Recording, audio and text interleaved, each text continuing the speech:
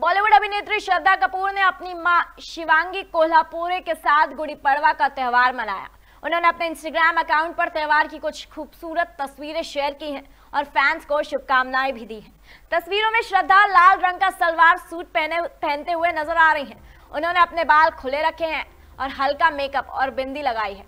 उनकी माँ शिवांगी साड़ी पहने हुए हैं। पहली तस्वीर में श्रद्धा और उनकी माँ थाली लिए हुए हैं पोज दे रही हैं। दूसरी तस्वीर में श्रद्धा खिलकर हंस रही हैं।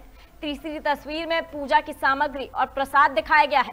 श्रद्धा ने तस्वीरों के साथ कैप्शन लिखा हैप्पी गुड़ी पड़वा, मेरी इंस्टा फैमिली उनकी तस्वीरों को, उनके प्रशंसकों और बॉलीवुड हस्तियों ने खूब पसंद किया है। कई लोगों ने उन्हें गुड़ी पड़वा की बधाई भी दी है।